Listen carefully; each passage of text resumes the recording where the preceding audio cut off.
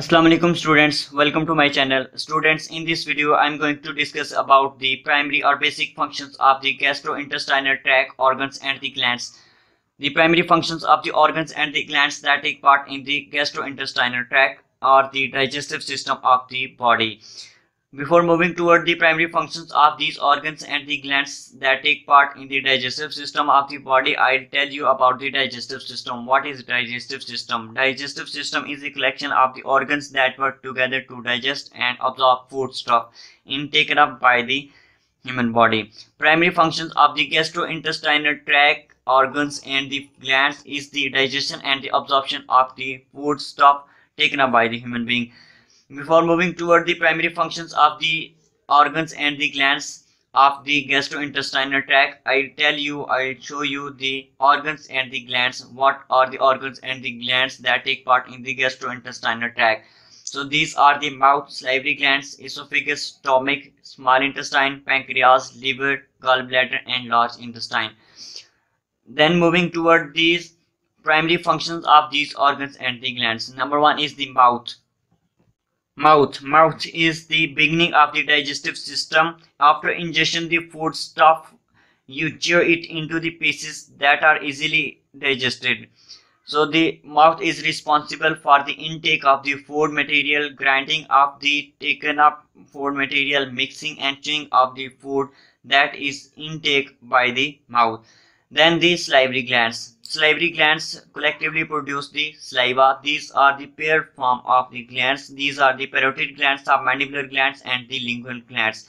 They produce the their secretions produce the saliva which is responsible for the production of the fluid and the digestive enzymes for the homogenization, lubrication, digestion of the carbohydrate and the lipids.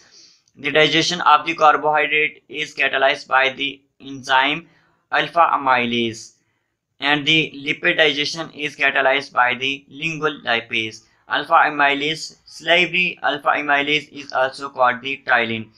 Then moving toward the esophagus. Esophagus is a muscular tube-like organ that received the food from the mouth and send it to the stomach after by the series of muscular contractions that are called the peristalsis.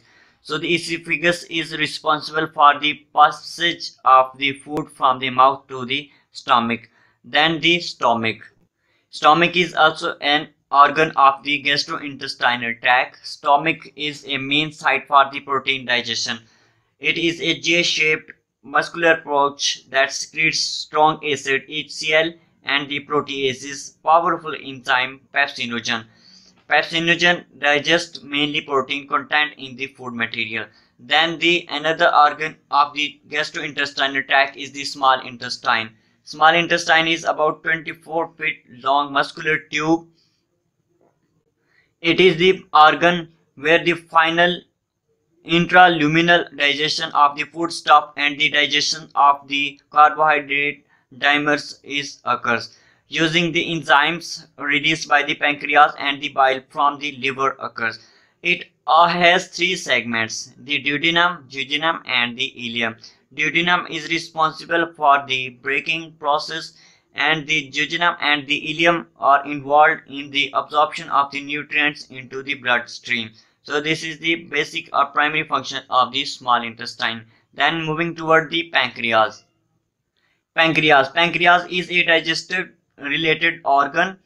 As its exocrine function, it secretes the digestive enzymes. It secretes the digestive enzymes into the duodenum. Digestive enzymes include the lipases, proteases, and the amylase. These digestive enzymes are secreted into the duodenum through a duct that help in the digestion of the fats, proteins, and the carbohydrate respectively. Then moving toward the liver. Liver is mainly digestive function of the liver is the process of the nutrients absorbed from the small intestine. So it produces the bile into the small intestine for fat and some vitamin digestion. Then the gallbladder. Gallbladder is a storage container for the bile. Bile is a yellow green fluid made up of the water, salts, cholesterol, and the inorganic salts.